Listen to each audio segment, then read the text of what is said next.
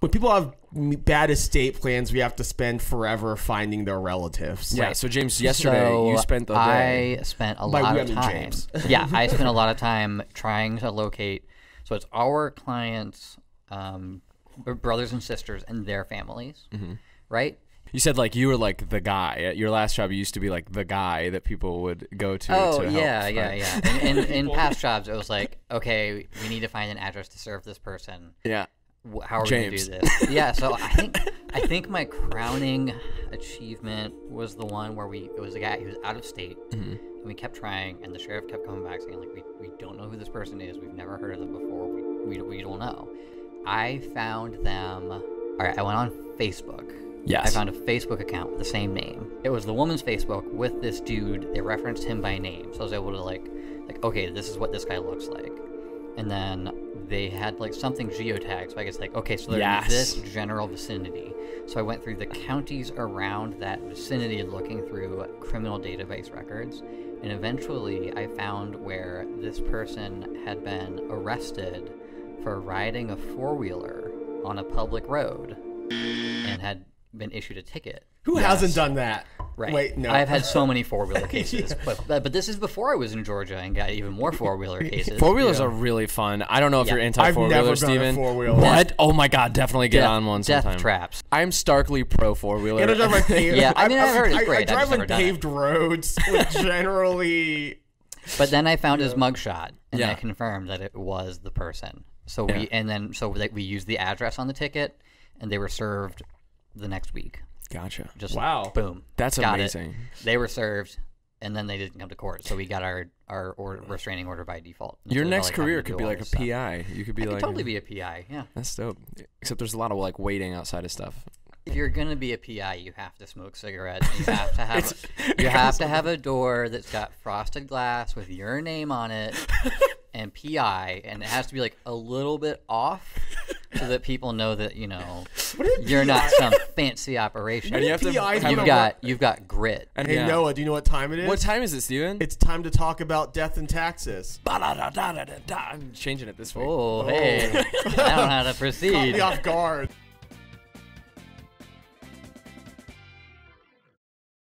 Guys, welcome to Let's Talk About Death and Taxes, the only show on the internet hosted by us where we talk about death and taxes, the two things that Benjamin Franklin said were inevitable in life.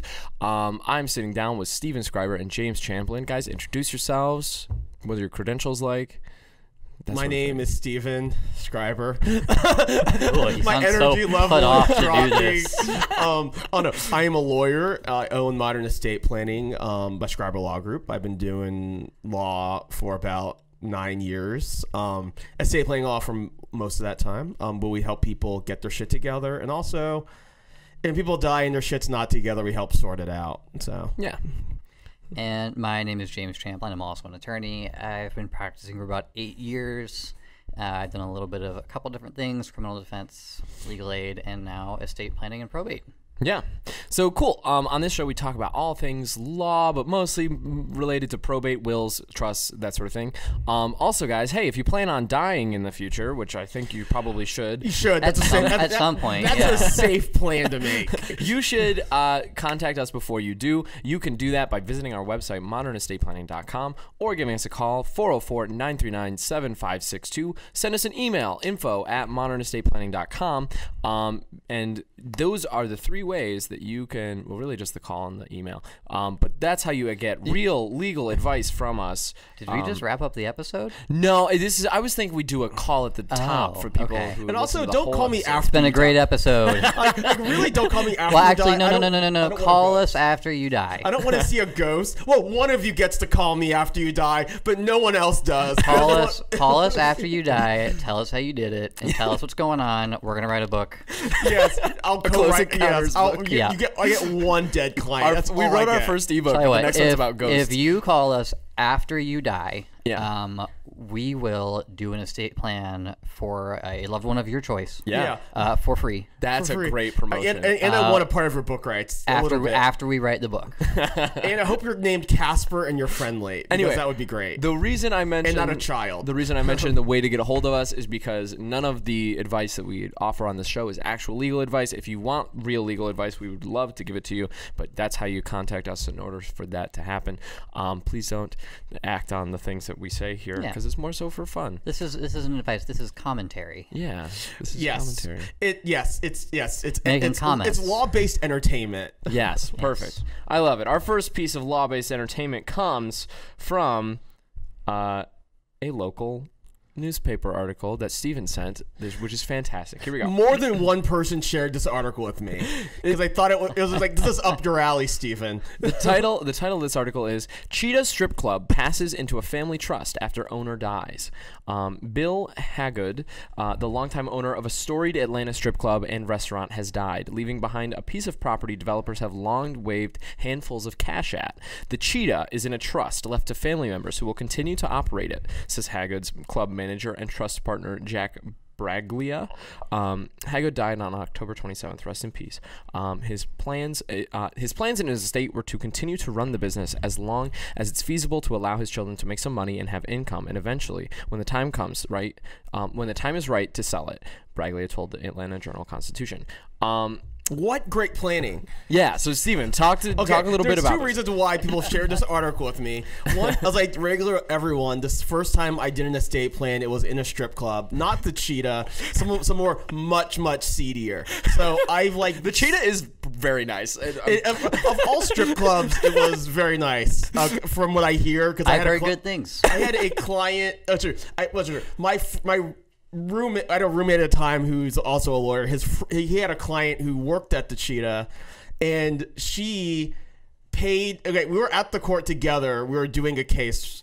I was just I was just watching him do his job, and she got he she paid him in cash, and then she then he I watched him take that cash. It was like it was on fire. you were like stripper cash, and he literally turned to me and gave me his half of the rent in Oh uh, my cash God. immediately. It's like thanks for the thanks for the cash because every time every time you get cash from a stripper, it raises the question: Yeah. did this come from the ATM or your like Yeah, or your the string, attire? yeah. He- was this hmm. was this on a ground? What did you proceed to do with the I cash? took it to the ATM and put it in. I was like, I didn't think about it too much yeah, and wash my hands. I mean, frankly, nothing's gonna happen to a banknote at a strip club that's going to make me think it's any or, dirtier than it already was. It already clears. There's probably already cocaine on it well before it came Yeah, to the no. stripper. Like well money, before. money is gross. It has nothing to do with, Oh with no! It's the just, fact it's that it's weird. coming It from a forces you dancer. to think about it very, very, Viscerally. very viscerally. yeah, yeah. You Yeah. like instead of like having this knowledge in the back of your head that at some point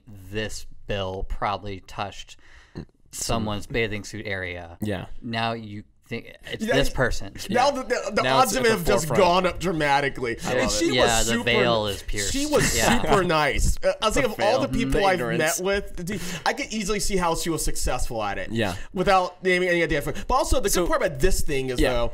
Um, is that the trust? Because normally, with if she didn't have it in a trust, even if he conveyed it by will, um, the the potential cost in issues with probate may have fucked it up so that they had to sell the business to pay legal fees and dispute settle disputes. The upside the trust is that it avoided probate. He already had instructions in place, already had a successor trustee, and it was like nothing had happened with Yeah. the business overall. So basically, the the the business wasn't really, and, and correct me if I'm wrong, but the business wasn't in his name; it was in the name of the trust. The right? he probably assigned the business to a trust. It looks like. Gotcha. So the trust owns the business, and then when he passes away, it's not a big deal. Business is, now, now it's part of the trust. Right. Yeah. And now we want to be like the income goes to my kids. You have some trustee. Maybe it's one of his kids. Maybe it's a professional trustee or his lawyer. It doesn't really matter. Whoever it is keeps the business going. Does he have to the income pay? divided? Does he have to pay a bunch of taxes on the business? Um, like, does his estate have to pay taxes on the business well, after he's dead and it's in Depends on what the business is. If the, if the trust was good, probably not. Um, and you know, if the business is worth eleven and a half million dollars, it's not subject to federal state taxation anyway. I if they, I don't know if they own their building or rent it. It sounds like if they're throwing money at it, they, must own own it. sounds like they own the land. So easily between a business and the land, you might be looking at an estate tax issue because that's a real isn't a location that keeps getting more and more expensive. So even if they closed the strip club down, much to the much to the a tragedy, um, only but if, even if they didn't, um, the land itself would probably justify keeping it in trust to. Mm-hmm. To maximize the value of it to the heirs, especially if they are cool with waiting. Yeah. Yeah, like if they don't need the money right now, if, if they're if they're comfortable, which I assume if, if they've planned enough to have it already in a trust with a plan, th- there's they're, they're gonna be okay. I assume, So- and I don't know much about the economy of strip clubs, but I assume it generates solid income.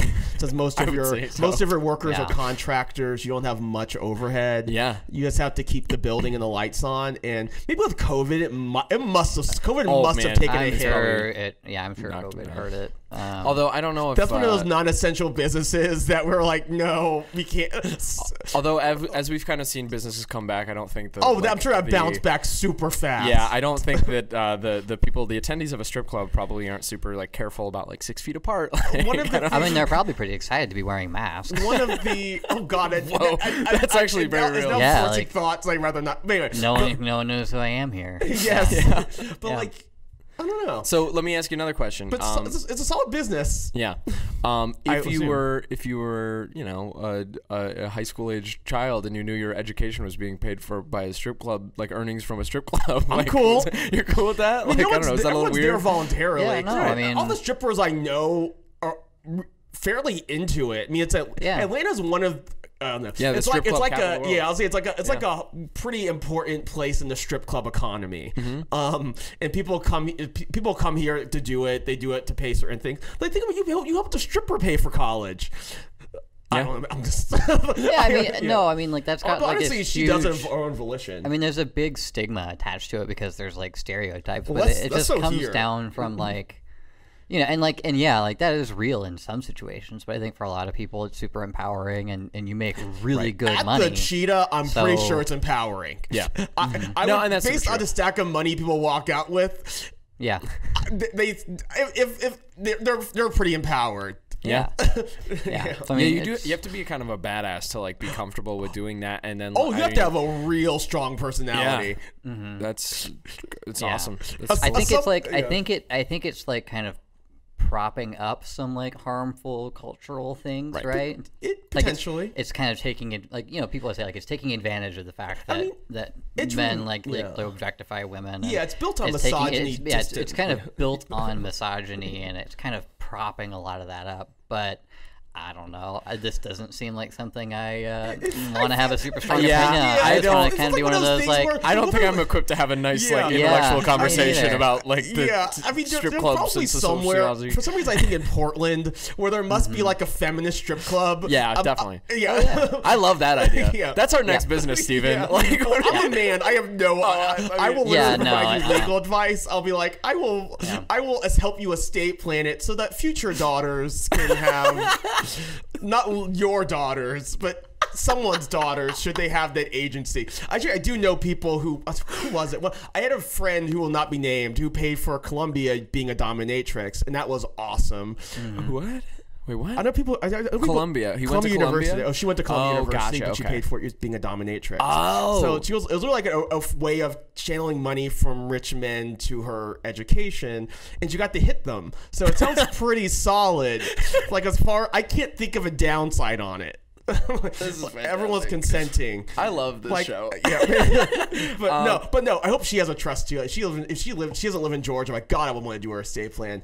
Anyway, Can we offer a special discount to, to, to strippers oh, in the oh, Atlanta yeah. area? Oh, I will totally help strippers out because it, one, they're fun, and, and they aren't gonna dick around in the details. They're like, I want this A, B, C, D. I've never had a stripper like lead me astray as far as in bit dealing with the client as a client level. Like fantastic. I want the one that tell, shoots who, shoot, who tells me the truth. I was say a straight shooter, but that seems like a weird thing to say. um, and then also strip club owners. I mean, having said that, the first Will signing he was shady as fuck, but he had a gun on his desk. He was like, Oh, he was ready. For, he was ready for anything to go south. It's like, what's the gun for? It's like you never know. Yeah. And it's like you do never know. Like, Yeah, I mean, someone's like- in there harassing one of his employees. He's gotta get his gun. I would. I would rather have a strip club. If I was, a, if I was in that business, I would want my boss to have a gun. and Yeah. Hopefully, be on my Yeah. side. Oh yeah. Yeah. But anyway. Anyway, you hear- a great client too. He, he does estate plans. If you go to a strip club too, I would. I would really love your the help. I would. I want to make you the next cheetah. Yeah. Also, we were talking about we were talking about how fun and interesting it would be to interview someone who does own a strip club. So hey, if you guys know anybody who owns a strip club, let us know because we'd love to bring them on I'll, the show. I'll, we'll literally go to you. I will. Sit, we'll set up the cameras and I'll do it in your shady office. Hell yeah. I- that sounds great. No, what are you doing this afternoon? Oh, you know, I have to go to a strip club for work. Like- And I don't. I don't man- think that was in uh, my uh, contract. As a gay man, it had no interest in me. It's like there's a guy was like, "Do you want to pass?" I'm like, "I'm good," but thank you, thanks for thinking about me. It's like nice maybe to be some thought maybe some drink vouchers for the bar. Yeah. Yeah. that might be good. they also have like great like buffets and stuff. Right? because it's like who eats who eats at a strip? That's disgusting. Ew. Okay, uh, I- No, I'm gonna stick with that. I'm on my high horse. Like I don't, I'm not gonna eat food that close to someone's half-clad body. Look, I, it's like a I'll eat It's like a sushi breakfast. from a gas station. yeah. I'll do that, and I have done that, and I'll do it again.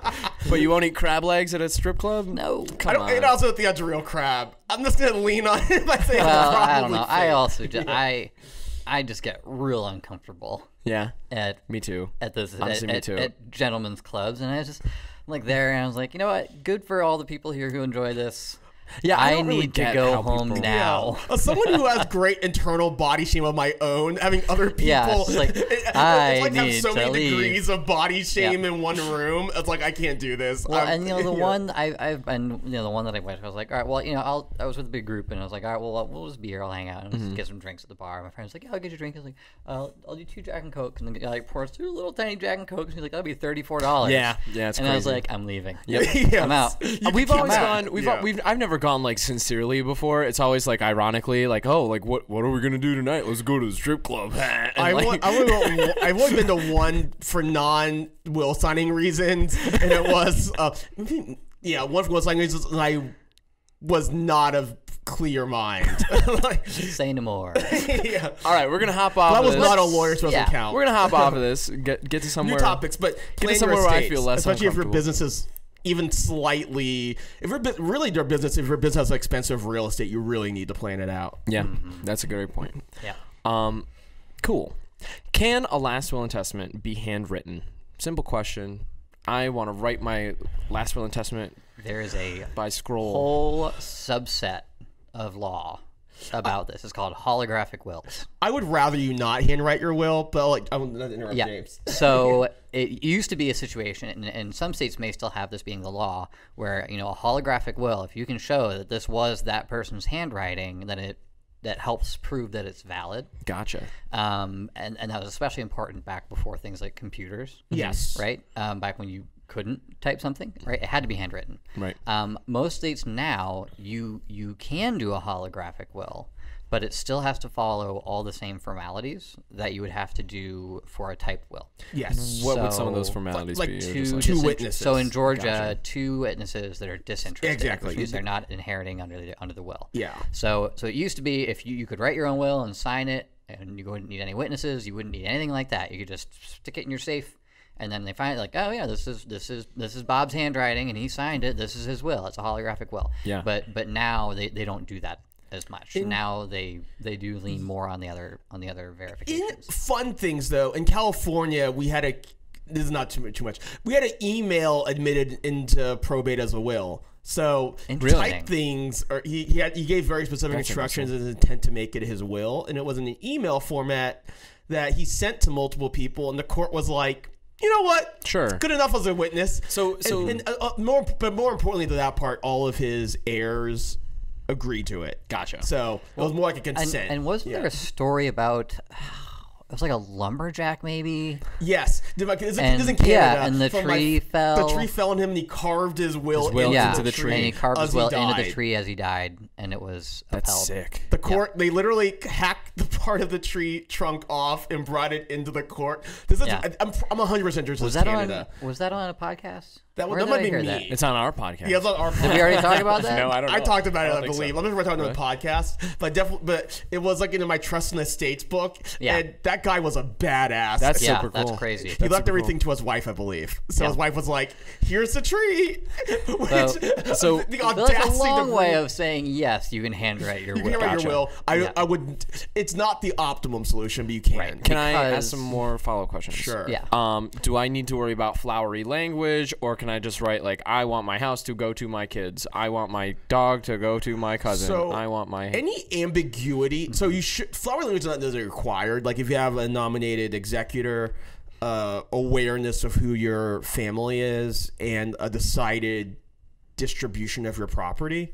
I mean that technically meets all of the things, with the caveat that any ambiguity will be filled in by state law.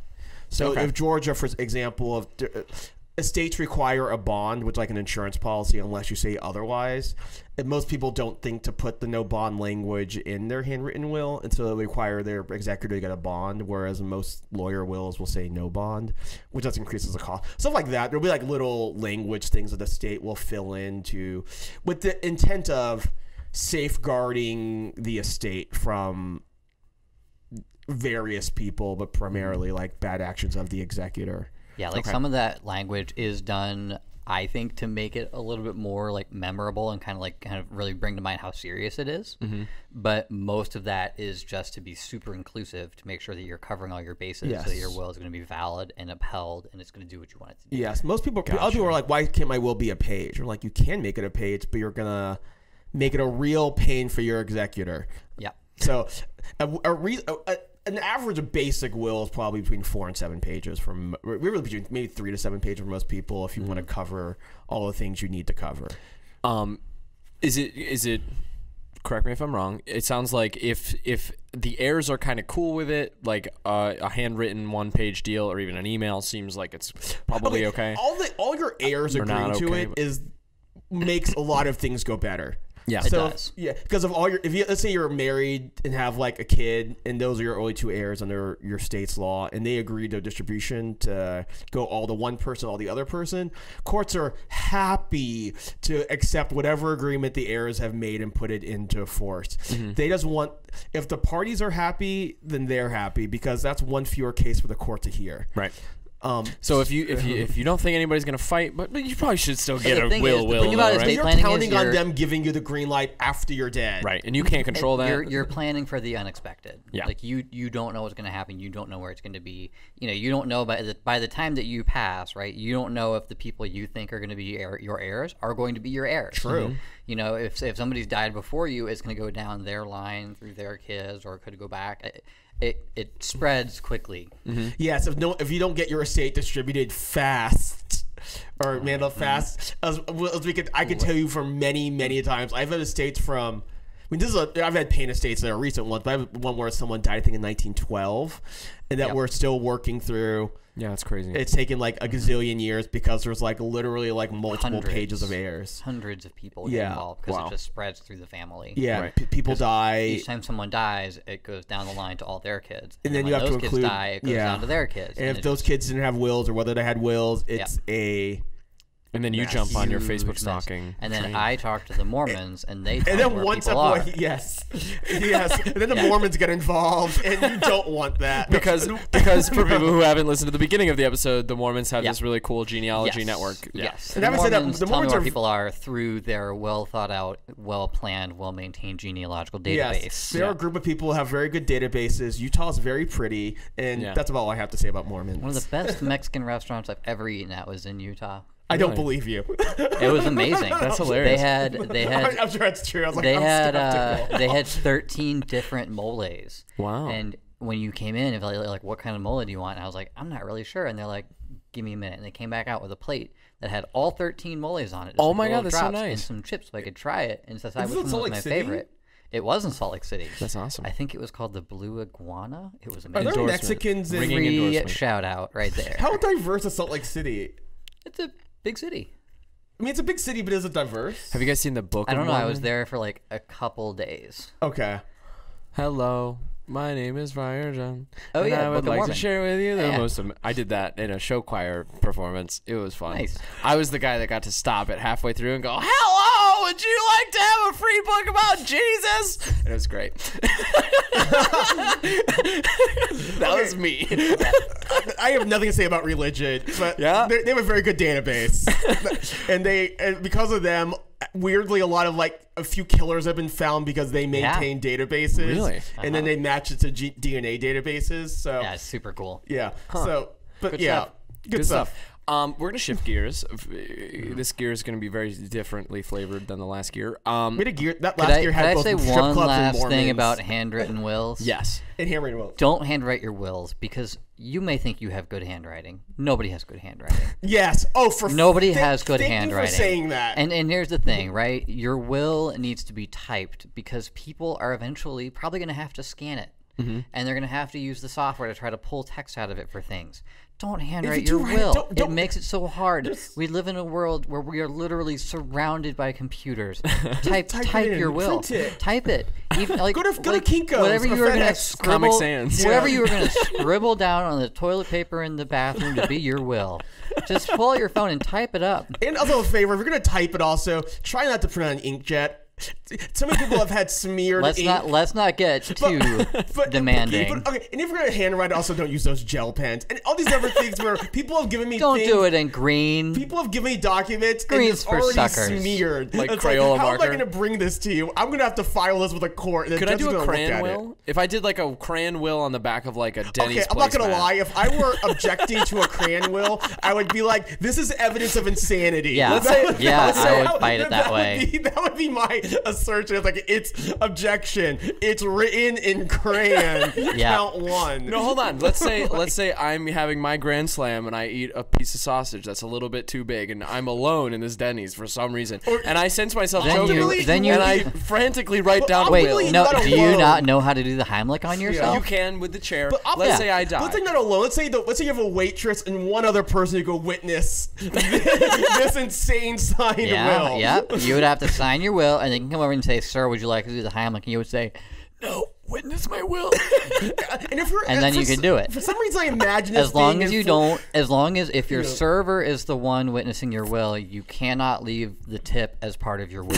That's true because now they're interested. then they'd be interested. You have to Gotcha. tip before the will is signed. okay. But let's say you're with someone and they don't like you and they just watch you die, and you're like, that sucks for you. The least you could do is witness my will. the least you could do is like the very least. They're very self-absorbed. They aren't even noticing. Yeah. yeah. Or like you're in a Zoom call and you're muted and you're uh, uh, so many So ways. so don't handwrite your will handwrite and it. chew your food. Yeah. to your food. Be careful. Yeah. Tip your, ser- tip your servers. Also, yeah, she, that server's had a bad day. She's like, "Fuck you! I'm gonna watch you die for, for that shitty tip you left." That is not the Denny's way. Yeah. Is that, I love is that close to a Waffle House or what? What restaurant is? That's actually a whole love another conversation. What, what Yeah. restaurant is the staff most likely to watch you die? Uh, what's the one where their whole thing is like they like to yell at you? Yeah, that's like the. I wish Uh, there was Dick's more Last of those. Resort. Yep, I've seen some of that. Yeah. For some reason, like a debt. I've been to Maybe they would they would probably save you because legally they probably would have to for liability purposes, but like they'll make fun of you. We're gonna shift gears. I'm gonna get sued if I keep We're gonna talking. shift gears. Someone's gonna be like, We're gonna shift defamation. gears. All right, this is a Or is it libel? I very think different it's gear. defamation. Um, we talked about this a little bit, and like I, James, you mentioned this. I don't know if we mentioned this on the podcast, but I think you just might have mentioned it to me um, in passing. Oh. Um, the president of the United States has said that he rejects the results of the, the This election. was recorded in November. Yeah, and by the time by the time it goes out, we're probably gonna be like, "Oh, how silly were we?" Um, but like, oh, we're it's insane. But you can sorry. but so but so let me frame it up a little bit. All right, so Joe Biden, President Trump, you know, we have this election, all the votes come in, and all the mail. Over you a know, week ago. Trump says, "Hey, don't mail in your votes, Republicans," and they're like, "Okay," so they all go to the polls, and then like Joe Biden's like, "Hey, everybody, mail in your polls or votes," and so you know, as we counted mail-in ballots, Joe Biden won by by he won the po- was it a landslide? I don't know. Uh, on the- the mail the on the popular vote. mail-ins On the mail-ins, on the yes. mail-ins, Oh, the mail is a yes, it was a massive Even a national vote, it was a change. lands. The popular vote now was a we've got Or Trump saying, "Hey, you know, this is phony. Uh, there's fake ballots. There's lots of fraud going on, and I reject the results of the Mm-hmm. election. Um, I am the president." are, do you think that there is the potential, realistically, and this isn't a joke, but like realistically, do you think that like we're close to like a civil war type situation? No. No. Maybe. Okay, I think most people are chicken hawks. I they talk a big game, but when it comes time to inconvenience themselves, I find it hard to believe. I, I don't think we're close to a civil war. I think that there are some parts of the country that would certainly consider doing something violent. yeah, I'll, yeah. I think we're at risk of terrorism. Yeah, I think we're at a risk of domestic terrorism. I don't think we're at a risk of civil war necessarily because I think I think what what we're going to see is a lot of the candidates that are like saying like, "Oh, well this was obviously fraud." Like they they're full of shit and they know that they're full of shit, and, but they're doing it because they're appealing to this large To the base. They should all be embarrassed, mostly because they're They should be humiliated. Yes. They should be so embarrassed. Did you see the letter? Um, I, we're, we're in Georgia, and our letter, the, the Our Republican senators, members of God. Congress, the, the House members, all wrote a letter to the Secretary of State, who's also a Republican. Our two senators did it. Oh did yeah, yeah. But this is the this letter is that it was written to Secretary call, accusing them of whatever, and they misspelled. They had a typo on the word Georgia, so they Oh my they, God. they delivered it to the Georgia Secretary of State. Oh, and Oh, these people on. have the aud- if I'm our Secretary Georgia Secretary of State, a Republican, I would frame that uh. letter. It's like you fucking loon can't even couldn't even proofread your goddamn letter. And- like, how and- dare and- you accuse me of fraud? These people think they're gonna have a conspiracy. And both of our senators who are in runoffs against Yeah. their Democratic That's another counterparts, huge Deservedly. thing. both of whom got caught up in in COVID stock sale scandals. Awful, awful, awful, awful, dumb, mm-hmm. bad. They're both also. They're telling our Secretary of State he should resign for not running a fair election. which is hilarious because they're about to run another election. And Georgia's been getting bluer and bluer, and, and if you if Yeah, you haven't seen that, then you're not opening your eyes. Yes. you're you're somewhere in one. There are very red areas in Georgia. There are very red counties, but if you're not looking outside of those counties, you might think, oh, well, we're just as conservative as ever. But no, if you look at you know places around Atlanta and big cities, like it's getting bluer and bluer. Right. And um, they're just trying to shift blame onto for their fraud instead of you know recognizing that the demographic of the state is changing because people are fed up with it. and they may not be that good candidates. Let me Yeah. let me try to frame this conversation in a way that I think you guys, Isakson would have won another term if he had outrun. But anyway, unrelated. let me let me frame it up so that you guys can share your like legal expertise. Let's say I'm Donald Trump and I want to win the election. I'm going to use the court system. I'm going to leverage the court system and my team of lawyers and all my money, and I'm going to win the election. What does what do I have to do Okay. to win the election? I'm going to open I- the premise that Donald Trump and I are as likely to be the next, or likely to be the president in January, which is not likely. It's extremely Okay, unlikely. yeah. See, this You're is why- equally likely. Okay. this is why we got to save those jokes for the God podcast. damn it! I 'cause you couldn't delivered land it it. so the well. first time you did that, fucking land it. What- Steven so told me- the, Let's edit the this. joke Steven said earlier was Donald, Donald Trump Tru- and I are equally as likely to be the next president. and then I had a big laugh, and it was a It was great a delivery. belly It was laugh. It was a solid. good laugh. It was Yeah. solid. Now I just blew it. You were within your head like- too much. You got I head. thought too hard about it. It was like, I'm Tried going to redo land it. this, and then I did it. it was, Look, I don't think anybody out there actually. I don't think there's an attorney out there who honestly thinks that anything they're going to do is going to overturn the election. yes. I think that it is 100% posturing and it's taking money from people that want to make a stink for political purposes. Um, so there are actually interesting articles. Some of the firms representing Trump are some of the biggest firms in the country. Most of them donated. Their, most of the lawyers in those firms donated to Biden.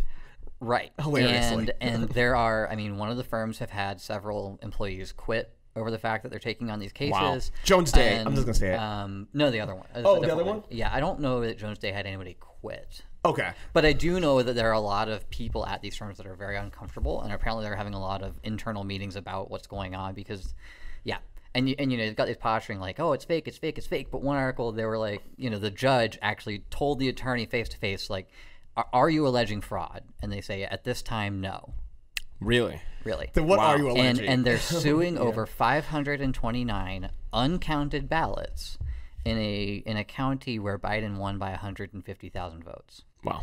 and and this is one of the lawsuits that they filed saying Yes. this is fraud. but when they but when they actually are in front of the judge and the lawyer's bar, bar membership is on the line, suddenly they're a little bit less likely to uh, you know toe that same line. you, it lawyers tend not to lie to judges knowingly. No. Unless your clients like me. Yeah, but And we've Yeah. and we've all we've all been there where we've had a client that we know is full of shit and we know they're gonna lie and we have to try to deal with that because we can't get out of the case. Right. oh yeah, yeah, And you it's too tell. late. And also, you just tell people. And the classic line is, you know, my client would like to address the court. yes. My or my client will now provide testimony in narrative form. If form. your client demands to go to the stand, you just let them. You, you ask, "What's your side?" because because you because you can't have a seat. you can't help them lie to the court. Right. Yeah. Right. So, you know, I can't question my client and help them provide detail to back up something that I think is a lie. But I think what we're seeing here is these firms are are knowingly jumping into something, knowing it's full You of have shit to- either- because it's either- a ton of money. Yeah, either you know, either they are. I guess there's some level where you're like, what does it mean to know? But like, God, great ethics questions of law. But like, do I know? Do I know for sure my client's lying? No. but do I think they are? Yes. And I think what a lot of these firms are saying is, we, you know, there's a right to file this claim. There are some things that we think are, are odd, but what they're not saying is, you know, This is fraud, black and white. well, yeah, Which and, why and, you're you know, seeing all these claims be so narrow. Yeah, right. So they're they're doing these contests where it's not going to make any difference, right? But by fi- so they're what they're actually filing is true, right? What they're filing is saying, well, actually, you know, there are this 240 ballots where the address was on the front of it instead of the back of it, like the way it should be, and mm-hmm. those should therefore be thrown out on a technical basis. They argued over technicalities, and that's what they're filing. That has merit, Right, I guess. that has merit. It's stupid, It's but it has stupid, merit. But it's not going to change the outcome of the election Yeah. because it's small. Right. But what they're doing is they're doing this for a client who's then stepping outside of the court and going on to the media and saying, "This is a stolen election. We're going to overturn it. Look at these lawsuits." So it, it kind of becomes a complicity issue. Yeah, they're of- using f- of- these tiny lawsuits yeah. to create a narrative of Right. fraud, which doesn't exist. and it's mainly for like the media just to kind of stoke Mm-hmm. the base. Yeah, because they want to stoke their base and they want to stir up anywhere there there, there is going to be a runoff. They want people to say like, "Well, no, this the election's being stolen, so I, I didn't vote in the general, but I got to go vote in the in the primary." Which is fascinating because it might also have the effect. I have to wonder for some people whether it might depress turnout if you're convinced the election is Like it doesn't fraudulently matter. counted doesn't matter. Yeah. It- or is it going to push more Democratic voters to come out because they're tired of this bullshit? They might vote in person. I just think it's so terrifying. Like Yeah. I, I mean, Also, as a Georgian, I'm, just shocked- terrified that we have two elections. I'm shocked. Yeah. yeah, and that's another huge thing. We Mm. can actually probably talk about that as well, because like I also don't fully understand like the the, the concept of a runoff election. So Oh, don't we'll worry, it's, don't that. worry, it's racist. We'll Yeah? come back to it. Okay. It's like- let's it let's really is. Let's have another conversation about that in a couple seconds here. But um, I I don't know. I was just kind of like shocked at the amount of people who are willing to be like, yeah, this is fraud. Because I mean, I just feel like th- like there's a, it it is a huge. I mean, I, Fraud I is feel like they're usually inciting a- violence fraud is basically. and usually it's like in scary. Law, But- fra- but, yeah. Fraud in law is like almost like a four-letter word. Like you, you have to really have some evidence before you allege someone of knowingly lying to you. Right. Like you can't just. There's there's rules of civil procedure. Literally, one of the few areas where you have to plead in particularity is in fraud.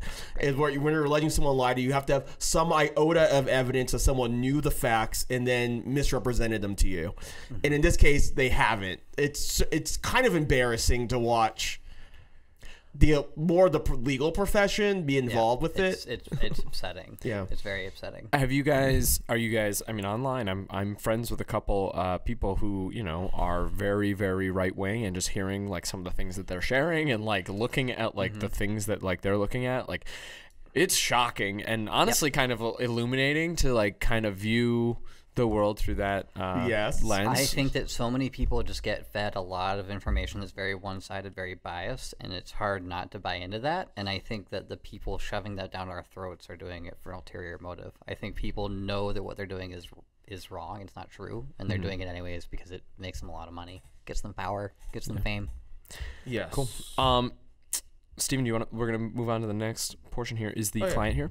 Oh no, sorry, I just had to something to check in. No, you're totally about good. You're totally fine. Um, cool. Okay, let's uh jump to the last segment here. Um, anyway, though, yeah, that's scary, scary, It's super scary. scary, frivolous lawsuits, and It's scary and it's ridiculous. posturing and it's and- probably going to lead to violence, and it's it's sucks. very It upsetting. It definitely le- delegitimizes it. I Yep. try to put myself in their position, but I also think that maybe I'm the one in a weird ecosystem sometimes. But yeah, it's and and I'll say it right now. You know, if if I, I just I think it's an, it's an embarrassment for the attorneys that are knowingly propping up that narrative. I mm-hmm. think that it's preposterous. Um, I think power to the people that quit their jobs at those firms and walked away rather than undermine democracy. Mm-hmm. Um, because frankly, you know, if, if you're working at a firm as well, uh, well respected and well known as Jones Day, and you quit over an ethical issue, you're not going to have a problem finding another job. Yeah. That's that's not an issue. Yeah. It's a That's- pretty that's competitive super field. badass. Principles. Yeah. People they'll, they'll bounce back. That's cool. Yeah. So If and you also, were- you can tell most election lawyers, people who specialize in election law, are discrediting these claims and they won't take the cases. You see a lot of lawyers who are doing these cases are not election law specialists. and and you know everybody's had a bad client everybody's had a client who's dishonest and it turns to be a nightmare like you know Yes. we've had them As, as a lawyer, Um, we we won't name names We usually we often jokes about the first time we realized our client was a liar. yeah and so But- it's that court. but at a certain point like there's there's a line and i think it's just it's a huge issue for the In this case, with Donald Trump, you should kind of assume he's a liar based on the fact that he constantly lies. if someone if someone tells you who they are believe them Yeah. or lies about who they are for like the eight thousandth time. In this case, believe them. This is this is a tangent that's gonna. It's a. I. I feel like years topics. ago. I am. yeah. No, this is no. It's a tangent Segue. on Go the same ahead and thing. shift your topic, No, and we'll t- we'll shift in a second. But I just want to talk about this. This is more of a me thing. segue and Uh, lean forward I feel like uh, in 2016, right, when Trump was about to get elected, and like people were like, you know, saying, hey, like, you know, this is pretty much like if you look at like, you know, Nazi Germany, like, you know, Hitler had a very similar like agenda, or not agenda, but there was some similar like rhetoric, right? And people on the right, people on the right were like, that's wild, like you are crazy. Throw that idea out completely. Like you mm-hmm. are overstepping. This is giant, crazy hyperbole. But I feel like now it's like, okay, if you were to become an authoritarian leader, what moves would you make differently than Trump isn't making right now? I would be smarter. I, yeah, I yeah. I Um, would be slightly but the way that he did about it, this I mean, about the way this. that the way I mean, I'm not going to say that he did it because I don't think he's the one calling the shots. But I mean, it was it was. think he's a super- puppet? I, I absolutely think he's a puppet. Okay. But no, I mean, Is he? the I think way- he's not smart enough to like. I, I guess Yeah, that's. a- no. I wouldn't guess- want him as my puppet. He I mean, is- legitimately, I want someone who is cooler under pressure to be He my is puppet. a spotlight magnet, and he is a loudspeaker. Yeah. that's what he is, and that's what he's being used for. So he's fed his narrative, and he spouts it out using his platform. And I, you know, and, and the way that he, the way that his campaign set this uncertainty up months ago. I mean, you're like it's He did not almost it out, impressive. There's no way he planned it out. He's a useful the- His handlers did. Yeah. he's he's a tool. um, yeah, it's. But I think I s- back to your point. I did see something saying essentially you have to differentiate because I also I always think the the Hitler uh, like the Hitler card. yeah that's the. Hitler card is a is not a card you generally want to Bring throw. out. Yeah. but Yeah. like You have to but you it. have to like Yeah. look at it though. You know, we always think of like during the war and after the war Hitler. you know like, you know, that like that end of it where the Holocaust was happening and there's all these horrible, horrible things. And then you also look at like beginning of his career Hitler, right? And and that's where he's he's setting the stage for that, and the stuff he's doing is not nearly as outrageous. And he could have gone a different authoritarian Yeah, direction, but, but- a lot of the steps he took to set up authoritarian rule, you know, I, I think those are being mirrored sometimes. Yeah, but I think the you um, I, Hitler is not useful to me. Putin is way more useful as like a reference or any Yeah, of the yeah. Right wing nationalists. And by the way, where you have all the pretenses of elections, but one side just can't win. And you could sense Yeah. Donald Trump's trying to set that. God, he wants up. to be Putin so bad. He wants to be Putin, but Putin's smarter than him. But like, I, Yeah. I, not, e- it's, Yeah. I, it's, Putin, I would love a photo shoot is with very with a shirtless Trump on like a horse. Ugh, like, wouldn't I don't- I don't need to see that. Remember the Putin shoot? But but let me see, let like, me go back Trump like let me go back like three minutes. I feel like I did a lot of like parsing on about like things about Hitler. Yeah. Anytime you see somebody parsing things about Hitler, it always comes out in a certain way.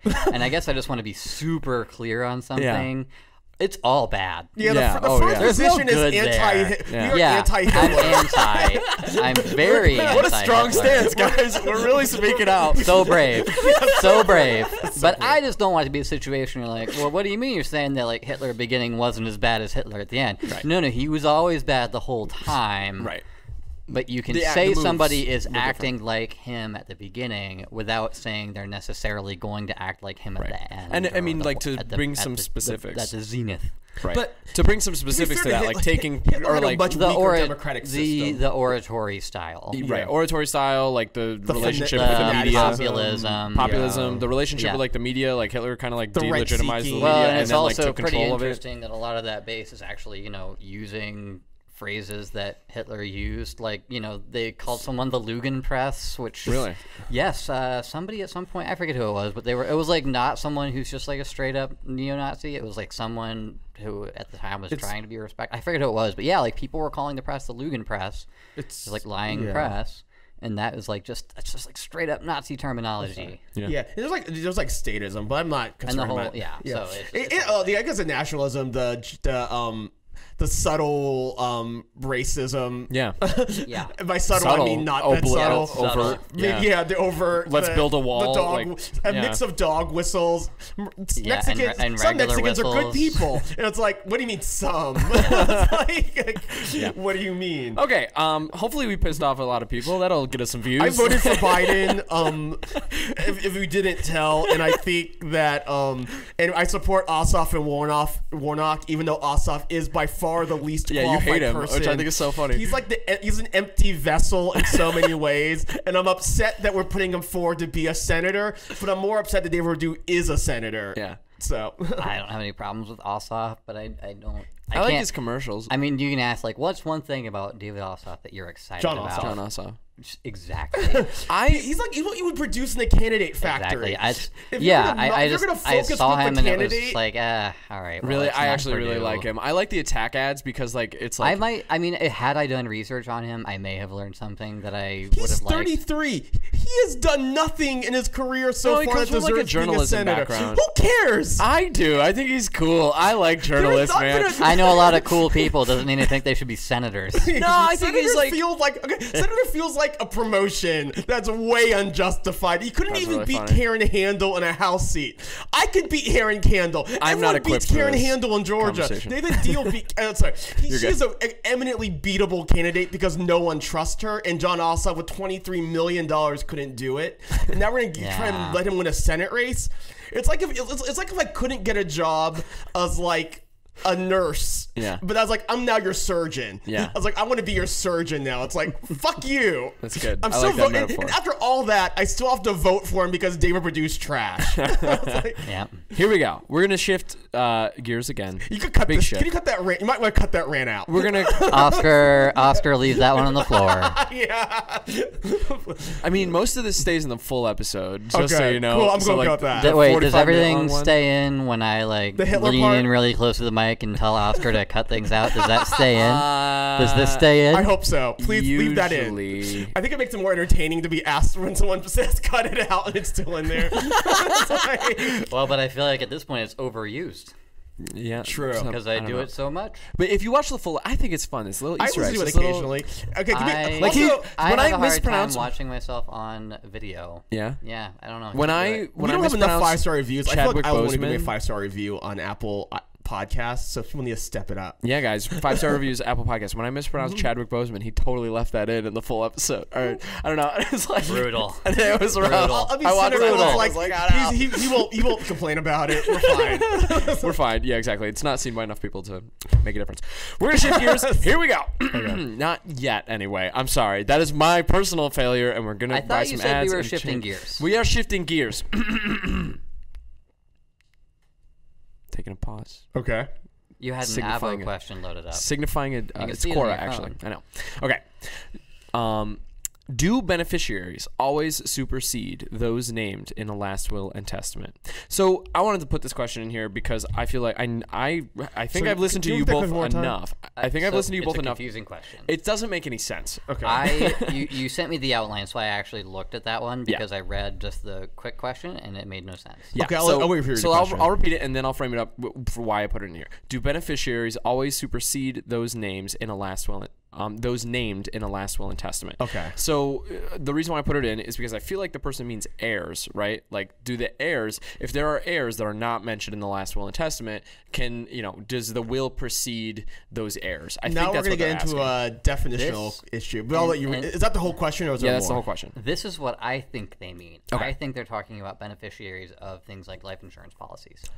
Gotcha. Okay, that's probably it. So Yeah, I I'm. I guess we could kind of categorize it. No, no, it, no. When I read it, my my knee jerk was the people named in a will are beneficiaries. Like Yeah. that. That's yes. a beneficiary. So the lawyer term, beneficiaries are the people who are named in the will, Right. And the heirs are the people who would receive it if there was no will. Right.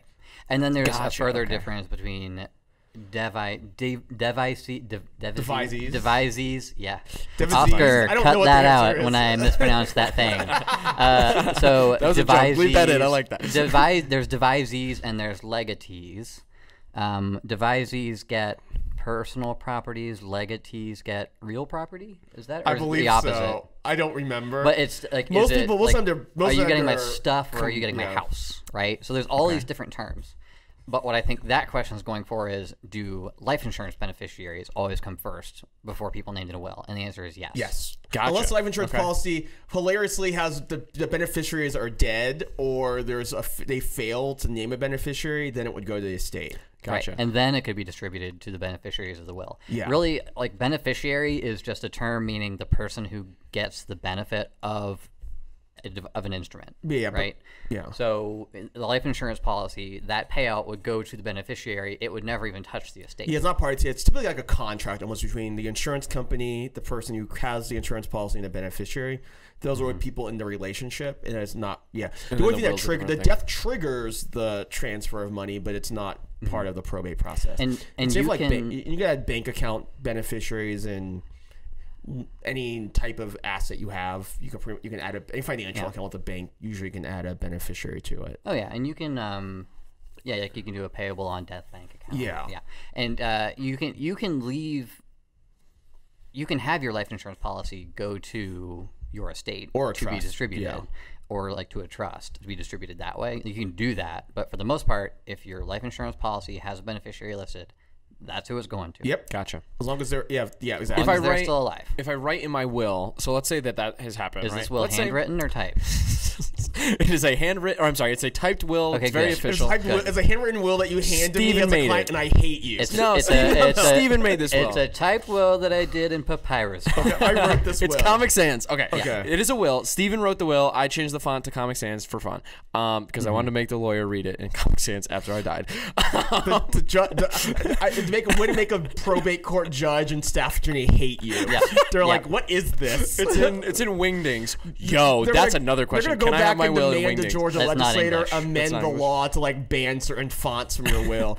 like Um, it not only is it not legally recognized, but they have the right to bring you back from the dead to like slap you or something for using. anyway, Um, so let's say let's Mm-hmm. say that life insurance policy is set up. Um, let's say that I mention the life insurance policy specifically in the will that we create together. It's a very official will. Yeah. Um, and so so let's say that they have two different like beneficiaries listed, right? And the life insurance policy, let's say it's going to go to my. Let's say I got divorced, right? And so w- at the time I got the life insurance policy, I put my wife's name. Mm-hmm. you haven't on updated it? I haven't updated it, but we created a will ten years later, um, where I say the life insurance policy is going to go to my kids. What happens? Well, first of all, this wouldn't have happened with me because I would have asked you about the life insurance policy. Okay. But let's say you did it, um, or let's say Let's say you used crappy one of lawyer. our Use LegalZoom competitors. or LegalZoom. No, no, no. We're not using Oh. any names. Oscar, actually cut that out. or you Sorry. you- Cut out just- that- just the put name of beep- that Just put like a beep in it. Yeah. Like a yeah, we can't actually call out our, our competitors by name. But let's say you But, used uh, but a yeah, competitor. This is use a competitor. Um, but yeah, so essentially you can't transfer in your will what you don't own. So I can leave. This makes about the jokes. Like I can leave my Fabergé A collection to my brother. He will be disappointed to find out that I don't have Doesn't such a collection. In the same way, the will can't convey a life insurance policy that goes to somebody else. So your ex and ex spouses in Georgia can get the insurance policy. And some, I think, a few states divorce severs is presumed to sever beneficiaries. Uh, I, that is generally not the case in Georgia. So if you get divorced, you should really check out that life insurance policy. But also with divorce decrees, I think I'll caveat that is a lot of times we'll get divorced. Part of the divorce order says you need to maintain life insurance for your ex-spouse or for your kids Really? as part of the I didn't know that. alimony, spousal support, Prenup. So there might be so there might be reasons the ex-spouse is listed on the um, life insurance, and even if um he, they wanted to, they would find someone in um contempt of court if they changed it. Um. So, but and then generally though, you can't leave anything you didn't own. So anything in the will that you didn't own, it's it might raise expectations for that beneficiary in the list in the will. Oh, I'm getting an insurance policy, and you find out they don't have an insurance policy, Or like that's it, you'll it exists, but you never owned that money to give. Exactly. Um, so, like another example in in my trust document that I have um, to my sister in law, I have given uh, any boxes found in my possession that are labeled secrets for her name. Yeah. Um, and she gets those boxes and whatever is inside of them. um, right now, I, I don't have any boxes that have that written on it. Yeah. So if I were to pass away before Those boxes making those boxes, then she wouldn't get anything. Yeah, and this is also true. Like if you, let's say you wrote a will with me and you said I want my house at this address to go to somebody, and then you sell the house. For the most part, that the that line lapses um, as soon as you get rid of it. But it's, in some cases, there are some ways where it substitutes. Like if you say my personal residence at X, if you sell your personal property and get mm-hmm. another property, then you might swap it in. But for the most mm-hmm. part, if you don't own it, you can't convey it. So it sucks for the beneficiary at Well, that no, moment. it's it's great for the beneficiary. Oh, the but then beneficiary it- insurance, But but then the it will, sucks for the sorry. beneficiary. Yeah, on the will, whoever gets on the will, it sucks for. Right. Yeah. This is why lawyers. You see get how into this things. terminology is all very confusing? Yeah. Yeah. Get a lawyer. Get a Get a lawyer, lawyer. Get a will. This is do one it right. thing that. Hire Steven. Exactly. Just like I spent nine years of my life honing this. I have no other marketable skills. like use me for this one thing because I can't do anything You're else. like you're like a kitchen gadget that only does Yes. one thing. You are a strawberry corer. oh my god! I, yeah, this, no, you're not, Yes. Steven. You're more than that. like, I use uh, my Apple Core all the time though. I, I'm not, it's it's like one of the best what do things you I've u- heard. What do you use it for? Coring Th- That's apple. between me and my. what happens in one's own home. All right. Not to be I have one more question. We're just gonna make this a little uh-huh. tiny little segment. It's gonna be a little baby two minute Yeah. video. It's gonna be great. This is the segment of the show called "Can I Do This." I've written a will. It's a very nice, sophisticated will. Before I export save as, I'm gonna change the font to Wingdings and and and save the will, export it, and then Is- I proceed to walk out my door. this. I like file it with whoever, and then I go get hit by a bus. Wait, is wingding? Is that is that words or the It's- symbol? no, it's, it's symbols, symbols. but it is a language like recognized in Microsoft Word in that area, that family of technologies. Honestly, I think you can make it work because what we'd have to do is get have a to certified import it. translation. Yeah, you have to get a certified translation. Okay, So what is would, that? Would How do make, I do that? I would have to hire somebody to certify that w- it is actually in English. Yeah, they they would have to. Yeah, you'd have to actually run it.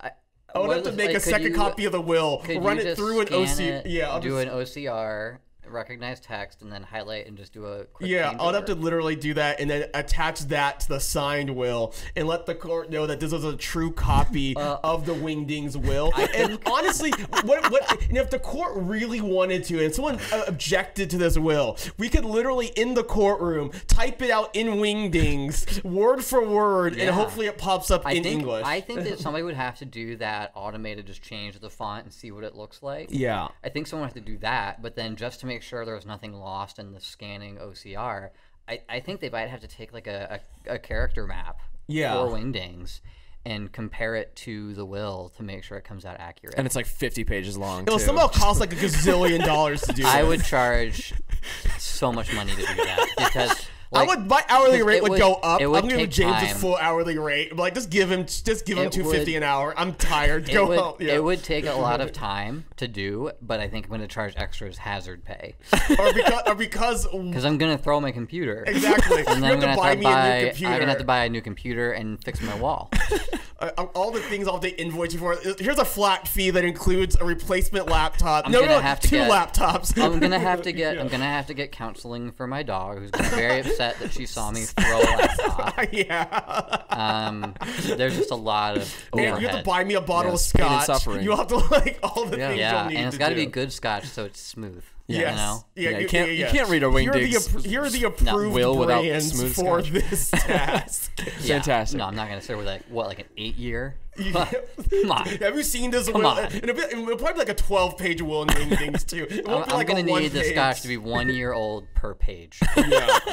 yeah. Ladies and gentlemen, thank you so much for watching. Let's talk about death and taxes. If you enjoyed this episode, let us know. Post a comment, guys. The show's pretty small, so you can help us grow by doing a couple different things. If you're watching on YouTube, like the video, interact, comment, subscribe to our YouTube channel, put those notifications on too, or I'm gonna come after you.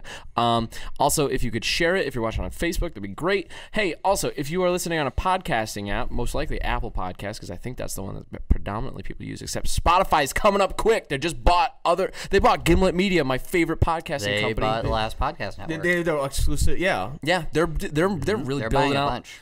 Guys, uh, yeah, go ahead, leave us a five star review, hopefully, or I mean, you know, if you're gonna roast us, I guess do that. You know, Be, let's be funny about it. I, yeah, honestly, a five star review, but just like a really like scathing like written review would be great. Um, But not about me though. I'm sensitive. yeah, my, my feelings are. no, come at me. I'll, I'll take that. Steven, what are some of the things you'll do for them? You'll make them a really fat, awesome will. You'll make them a We trust, do wills, probably. we do trust, powers of attorneys, health directives. You'll make sure their life insurance isn't a total mess. Yeah, you won't. You won't leave it to people you don't want to leave it to. You'll make sure their kids are probably good, right? Yeah, The point is, is that if you need legal services, Steven and James are the guys you can call up. 404-939-7562. You can also uh, email us info at modernestateplanning.com. Mm-hmm. Um, or if you have a question, you can also email us questions. If you have little voice questions, that'd For be the podcast. For the podcast, yeah, we'll answer them on the podcast. Um, questions at let's talk about deathandtaxes.com. So that won't be legal advice. I'll just be. I'll. We'll just lightly make fun of your Commentary. question. It'll be by commentary. Commentary. Also, if you're a really diehard day one fan, you should go download our free PDF. It's awesome. It's a banger PDF, and it is listed in the description. Um, it is a primer for people who have not yet thought about estate planning or done estate planning. Basically, giving you like a list of mistakes that like you should probably avoid. Because like, hey, death and dying is like difficult and hard to think about, and it's hard to do right. Go check it out. It's in the description down below. Um, guys, thanks so much for watching. Have a great day,